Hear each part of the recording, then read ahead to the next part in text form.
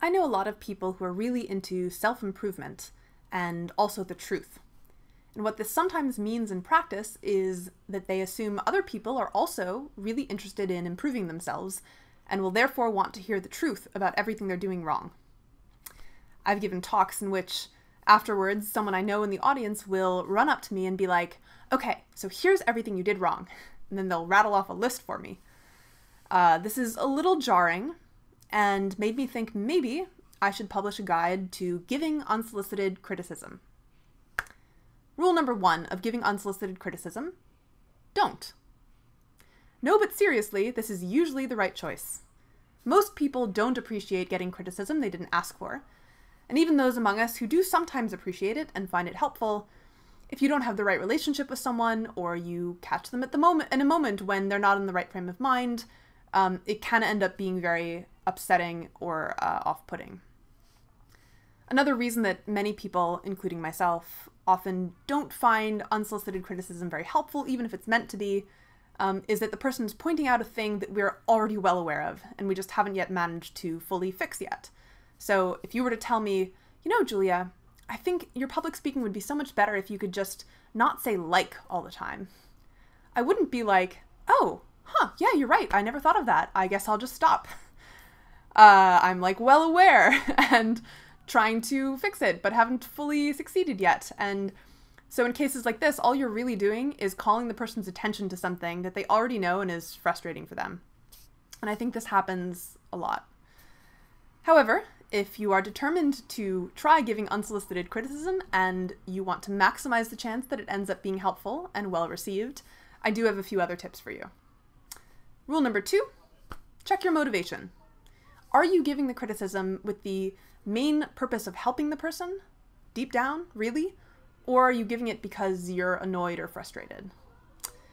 Uh, if you're like, oh, this girl says like so much, it's so annoying, I gotta tell her. Um, if your motivation is not pure, it's probably going to show, and your criticism is not going to um, be likely to be helpful or re- well received. Uh, also, check maybe to see if the thing you're pointing out is something they can, in fact, change.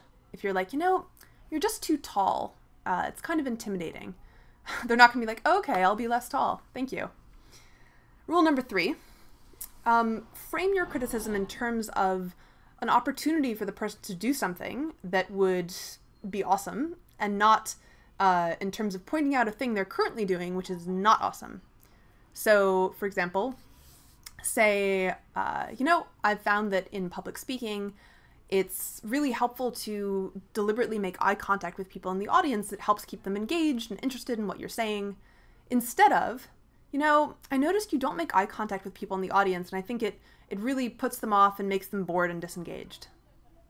Same content, um, but very different framing and therefore very different reception. Rule number four um, if you can, uh, frame your criticism in terms of something that you used to have a problem with and that you, you know, managed to fix to some extent. So, like, uh, you know, uh, I used to have be late all the time and it really like pissed people off. And here's something I did which like, you know, made it less of a problem. Might work for you too. I think this makes the person feel like, you know, you don't think that you're better than them, you're sort of in it together. It helps mitigate some of those uncomfortable status dynamics that come into play when someone feels like they're being scolded by someone who knows better than they do.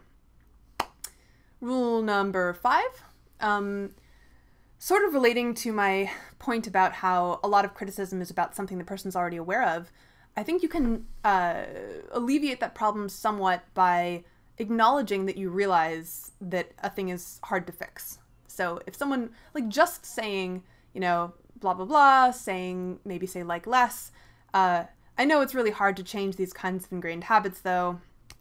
Just saying that, that little qualifier, like reassures the person that you don't think they're a moron for not having fixed it already and, and relieves some of this feeling of like, oh, this person thinks it's so easy, I can just snap my fingers and fix this problem. I think it makes people a lot more receptive to what you have to say. So that's basically it. Um, and if all else fails, remember the uh, criticism sandwich compliment, criticism, compliment, which honestly works on me even when I know someone's doing it.